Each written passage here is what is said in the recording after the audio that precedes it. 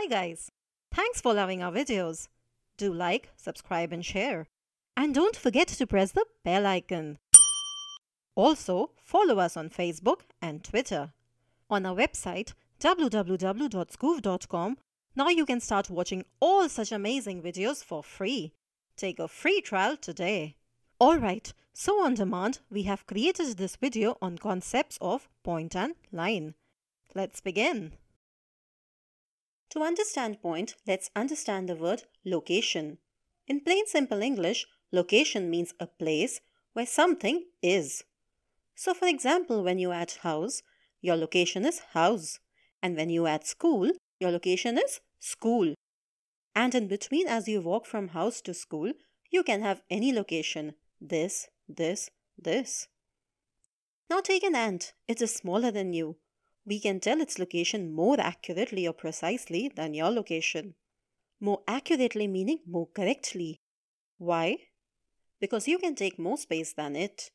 So as we move from bigger to smaller, we move from less accurate location to more accurate location. And actually, if we reach only a dot, we can find the most accurate location or the actual location of anything. This dot is called a point in geometry and it gives the most accurate location of anything. Whenever we have to tell the location of anything in this world, we assume it to be a point, because when we do so, we can tell the most accurate location. And you see this straight path joining the house and school? This path is called a line. Actually, it is not exactly a line. It is a segment of a line. We will see that in detail in this video. So what's the point? A point is a small dot which tells location. And what's a line? A line is simply a path or a straight path connecting two points. But when we connect two points, it has a different name. Now the path is different from a road that you see every day. When we say path, we mean it has only length. It does not have any extent or presence laterally or sideways or upwards, downwards. So it does not have any breadth or thickness. Point, however, does not have any presence anywhere. It is supposed to not cover any space.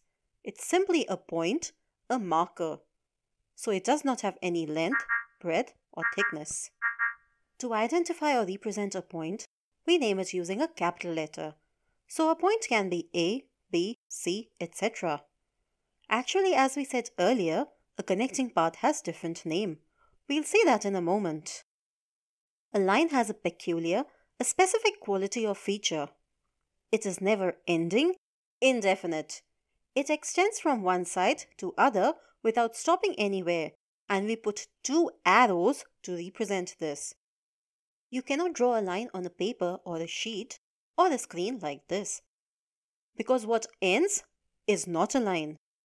Now since location of someone or something can be anywhere on this line, there can be many many points on this line. In fact, you can have infinite number of points on a line. And wherever there is a point, it will lie on a line because you can always find a line passing through a point. The part or the segment of the line between any two points is called a line segment because it is the segment of a line, a part of it. Since the segment is between the points A and B, it is represented by writing AB and when we talk about the line, we write AB with a small bar above it, with double-sided arrows. Or we can also simply write a small letter, such as L, to represent a line. Apart from line and line segment, there can be one more kind. A line can start from somewhere, a point, but doesn't stop at any other point, and the arrow is pointed in one direction only. It is denoted in the same way as a line or line segment and is written as AB, having a bar at the top with arrow at one end only.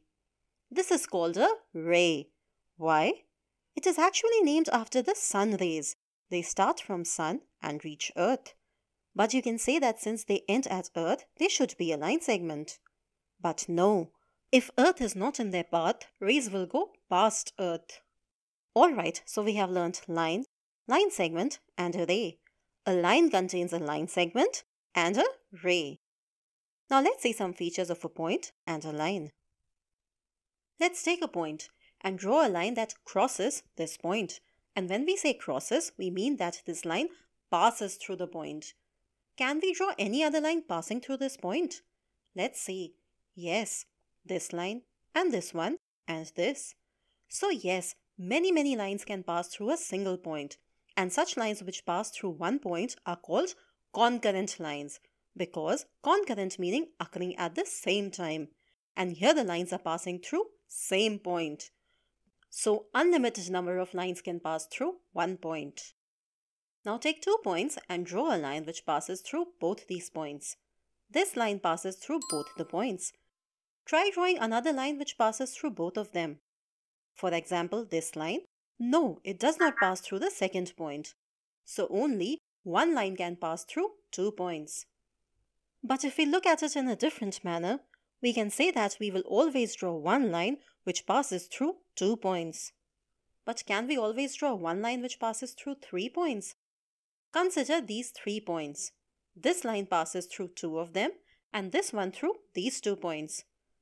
So no, one line cannot always pass through three points and when it does, such points are called collinear points. Co means together and linear means on a line.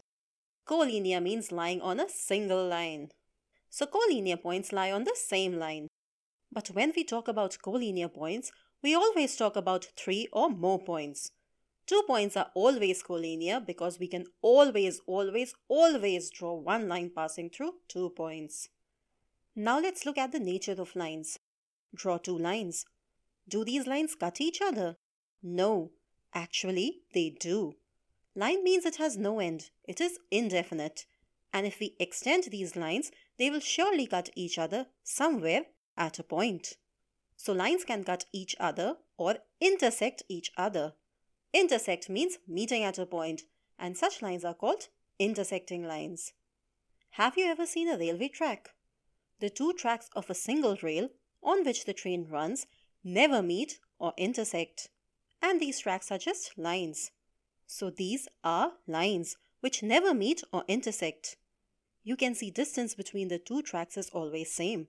And such lines which never meet will always have equal distance between them. Always.